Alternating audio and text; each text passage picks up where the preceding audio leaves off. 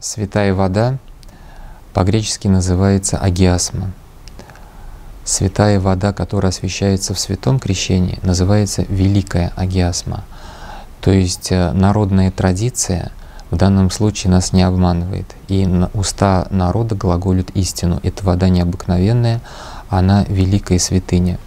И если мы простую святую воду после обычного молебна, который совершается каждый день, мы можем потреблять и в течение дня, и после обеда, в любое время, то великая гиасма, крещенская вода, она потребляется только натощак из-за того, что мы благоговеем перед этой святыней и особо ее чтим.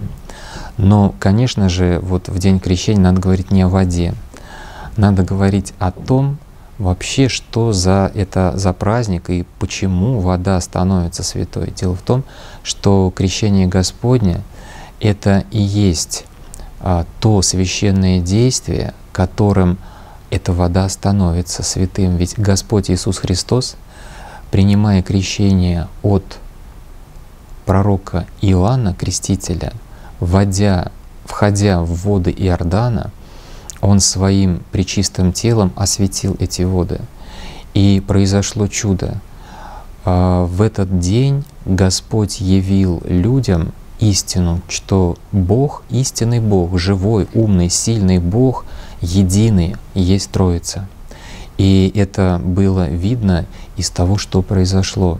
Сам Сын Божий в образе человека крестился в реках Иордана — Дух Святой в виде голубя с небес сошел на Иисуса Христа, и с неба звучал, как гром, глаз Отца, «Сей есть Сын мой возлюбленный, в нем мое благоволение».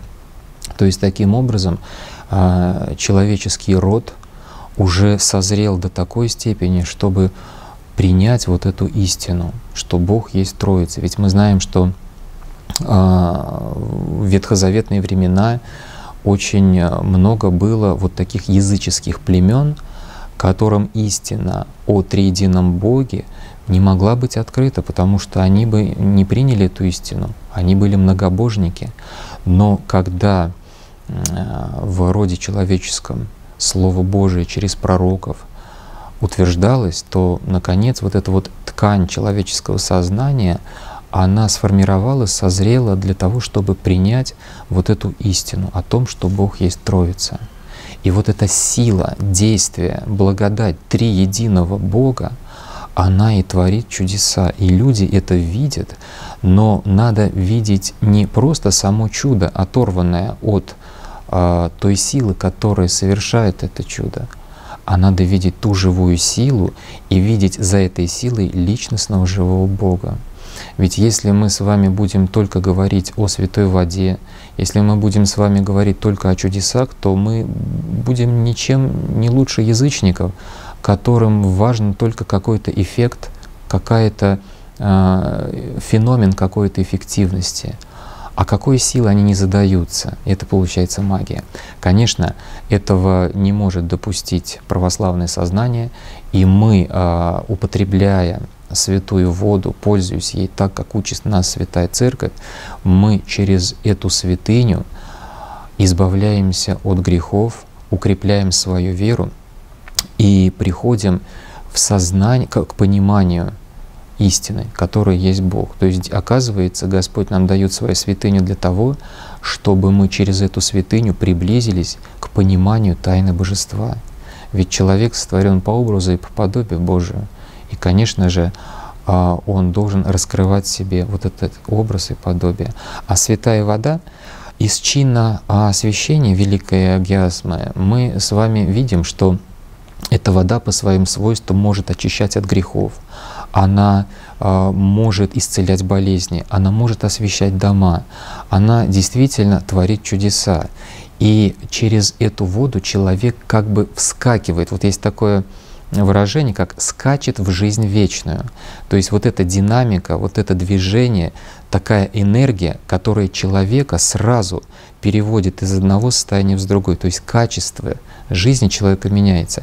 Через эту воду человек как бы вскакивает в жизнь вечную. То есть здесь он был в грехах, и вдруг, употребив эту воду, он чувствует огромный прилив энергии. И он это ощущает реально физически. И поэтому он не может стоять на одном месте. Действительно, эта вода а, чудесная, и она укрепляет силы человека. Поэтому, конечно же, а, правильно вы сказали, что в течение всего года эта вода хранится как э, духовное лекарство. Вот мы знаем, что везде э, в машинах, э, в различных в классах, в школах, в домах есть аптечки медицинские. На всякий случай. Так вот, святая вода, она тоже должна быть в доме и на всякий случай тоже, потому что мы все болеем, мы все, бывает, э, впадаем в какую-то печаль или унываем, или просто бывают какие-то неприятности, то в любом случае, когда ты с молитвой и верой употребляешь эту воду, проходит печали, проходит болезнь. Лекарство, которое нам выписывает врач, начинает действовать совсем иначе, то есть увеличивается их целебные свойства, потому что эта святыня — она восполняет человеческую немощь силой. Поэтому святая вода, великая гиасма должна быть всегда а, под рукой, и а, верующие христиане пользуются этой водой. Но прежде всего, конечно, это день крещения, это праздник явления триединого Бога. Вот в народе бытует такое мнение, это мнение неправильное, заблуждение, что есть как бы две воды, крещенская и богоявленская. А это от чего бывает? От того, что чин великого освящения воды совершается два раза. Накануне, в сочельник, вечером, и э, совершается он в сам день крещения. И поэтому вот э, невежественное сознание утвердило вот эту разницу, хотя разницы никакой нет. Так исторически сложилось, но чин один и тот же, вода одна и та же.